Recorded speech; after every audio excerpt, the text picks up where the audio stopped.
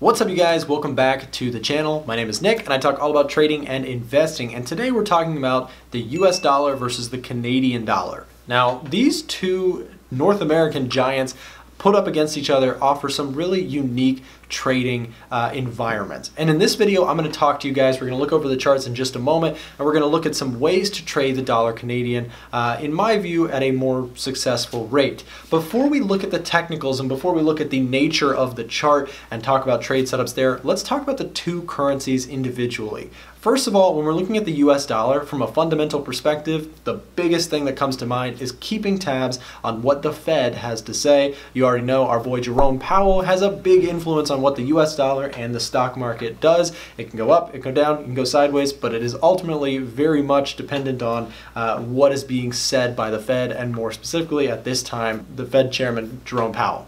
So when we're looking at the US dollar, keeping tabs on what the Fed is doing, looking at tabs or keeping tabs on unemployment unemployment and GDP growth rates in the US, those are going to be things that are very, very important. And of course, the treasured uh, interest rates that are out there and keeping an eye on whether or not the Fed is trying to raise, lower, or hold interest rates is going to be a big, big factor on the bullishness or bearishness on the US dollar. In contrast, let's look at the Canadian dollar. One thing you need to know, the first thing that I always keep an eye on when I'm talking about trading the Canadian dollar is what is the oil market up to?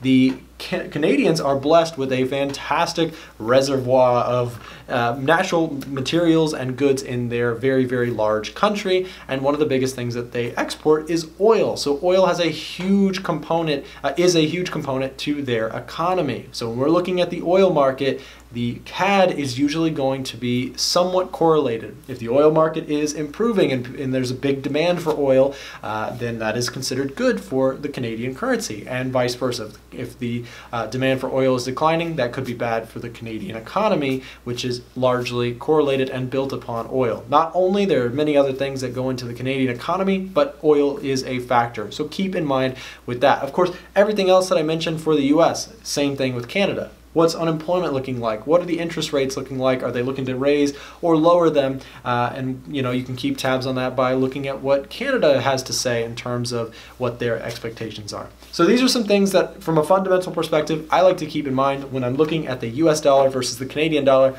or trading either one of these currencies against anything else. So without further ado, let's go look at the charts and talk about some ways to actually trade dollar CAD from a technical perspective.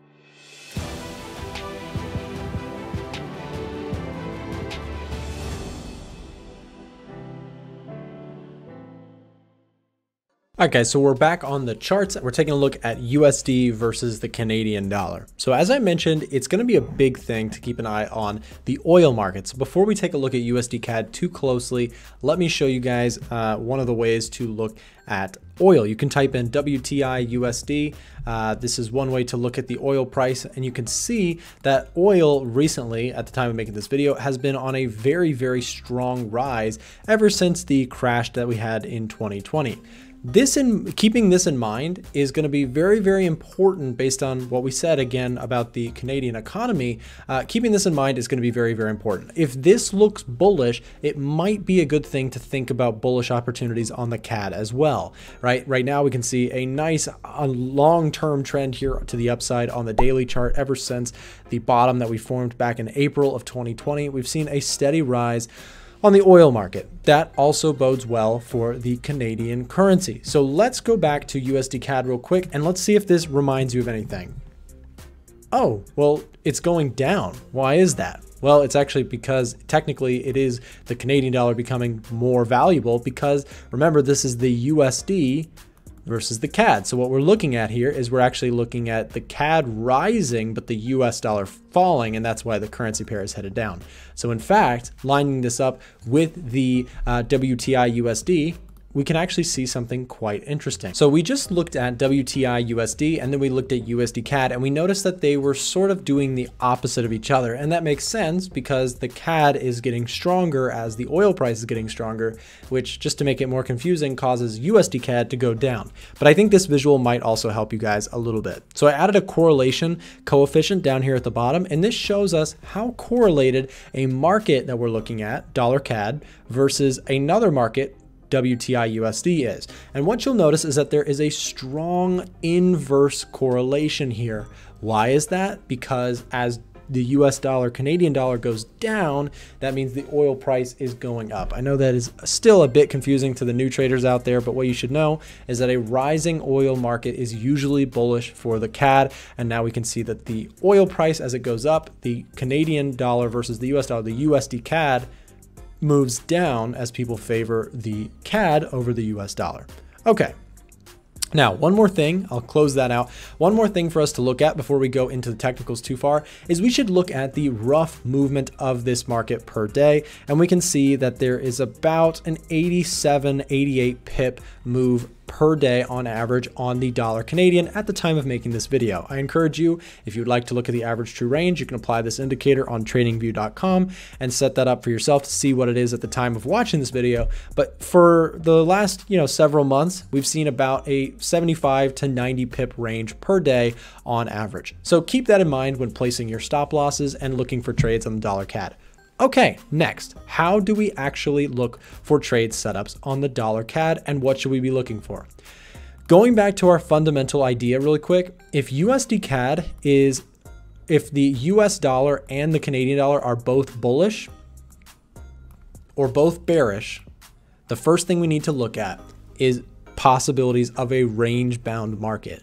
If both of these economies, both of these North American economies, sometimes they move together, sometimes they don't, but if they are both bullish or they are both bearish, it can often cause a market to trade sideways, right? Why would that make sense? Well, it's because we're crossing two currencies, and if both of them are performing well or both of them are performing poorly relative to one another, they're probably not going to be dominating or, you know, destroying the other one, right? They're just going to be sort of back and forth. And in that case, maybe there's some range bound plays that could be had. I'll give you an example like back here. You can see here's a range bound market that lasted many, many months on dollar CAD.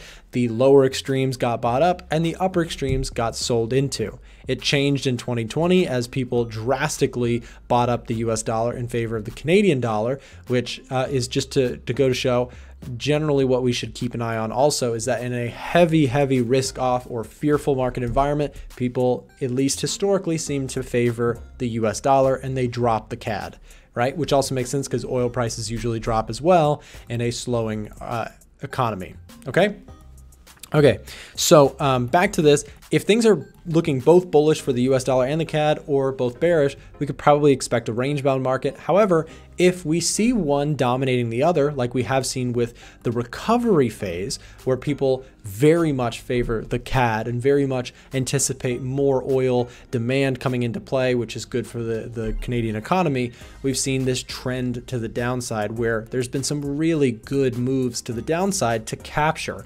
So these are things to look out for. What is the story in markets right now? Until further notice, I am preferably a bull on the CAD over the dollar. Now, it doesn't mean I'm going to go buy everything uh, Canadian just because you know things look good, but it might give me a slight bias towards the sell side. And in that case, what I'm going to be looking for is to sell into supply.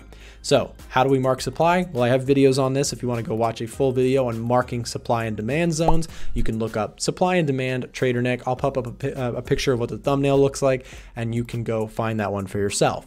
But a very quick version is to look for key levels where price basically reversed strongly. We can mark out a couple here. Here's a level of, of uh, supply that I'd be watching for, and a recent level of, of course, demand. Now, I'm not going to be buying demand uh, if I have a strong bias towards the CAD, I'm going to be looking to sell into supply on the dollar CAD because I'm I, i am favoring sort of that uh, that Canadian dollar versus the U.S. dollar. So in that case, let's say we got a little bit of a rally here, right, which we're starting to see.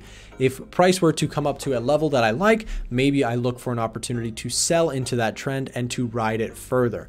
My style as a trader might be different than yours, but I am usually approaching the market with a trend following sort of perspective. My favorite styles of trades are where we have one currency where I am bullish on and one currency where I am bearish on based on my analysis, right? So for example, maybe I'm bullish on the CAD, bearish on the dollar, and I'm looking for trend continuation setups here. Like I said earlier, if this market goes into a range bound, if the US dollar gets very, very strong and we see this market continue to range, then in that case, I could possibly be looking to sell the supply levels and buy the demand levels and just play the back and forth until that changes. Uh, an example of that sort of would look like this area here.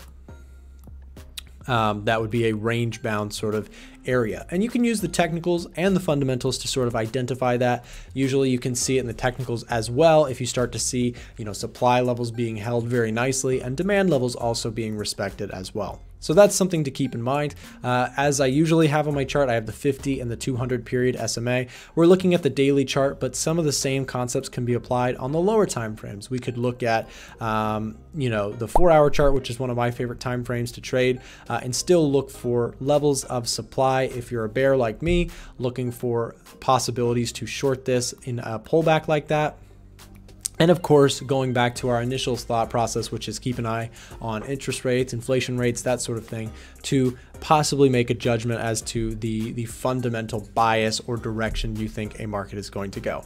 I hope this has been helpful to you on dollar CAD. For those of you guys who do trade this, I hope this, this sort of cleared up some of the questions you may have had. If you enjoyed the video, make sure to like it down below. And hey, if you made it to the end of the video, comment that you made it to the end, and I'll try and heart your comment. I do appreciate those of you guys who support the content and stick around for the entire video.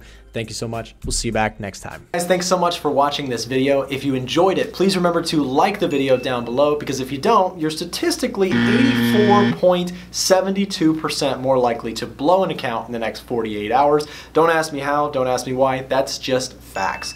If you enjoyed that video and you want to see more free content here on YouTube, I'll be popping up some videos on the screen now. Go ahead and click anything that looks interesting to you and thank you so